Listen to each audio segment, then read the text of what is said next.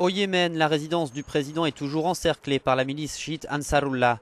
Les combattants Houthis, c'est leur nom, se sont déjà emparés du palais présidentiel, pillant des armes dans les dépôts. La milice contrôle déjà en grande partie la capitale yéménite depuis fin septembre. À l'ONU, le Conseil de sécurité craint un coup d'État. Les membres du Conseil de sécurité incitent toutes les parties au Yémen à résoudre leurs différends par le dialogue et la consultation et à rejeter les actes de violence pour atteindre les objectifs politiques, ainsi qu'à éviter les provocations, a déclaré l'ambassadeur chilien au Conseil de sécurité. Les miliciens chiites ont lancé cette offensive après avoir refusé d'entériner un projet de constitution fédérale qui priverait leur région d'un accès à la mer. Lors des combats autour du palais présidentiel, ils ont été soutenus par les forces loyales au président déchu Ali Abdallah Saleh. L'actuel chef d'État Mansour Hadi se serait réfugié à Aden, la capitale du Sud.